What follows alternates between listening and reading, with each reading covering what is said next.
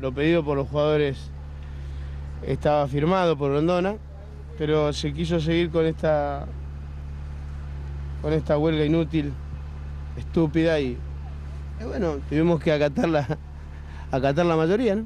¿Tu ánimo para seguir jugando sigue intacto? Estoy mejor que nunca, así que no me va, no me van a quebrar eh, ni por más que no quieran jugar algunos jugadores, yo quiero, yo quiero jugar, yo quiero jugar y, pero ojo que con esto respetaré a muerte lo, lo que decía la mayoría. Pues yo creo que cuando las cosas son, son justas y son analizadas como las habíamos analizado nosotros eh, y sabíamos de que teníamos la razón, que estábamos defendiendo algo justo, este,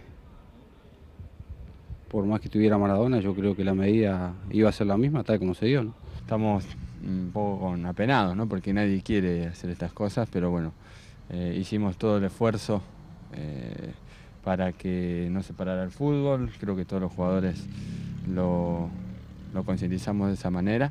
Lamentablemente eh, pienso que acá se premió el tiempo, porque había muchos planteles que no estaban y por eso se pasó a un cuarto intermedio. El presidente ha sido absolutamente claro en su apoyo a la postura que ha presentado la Asociación del Fútbol Argentino, la AFA, y así se los ha reiterado los representantes futbolistas argentinos como una forma de, de, solucionar este problema que realmente nos tiene preocupado a todos. Así que ha apoyado claramente la posición de la, de la AFA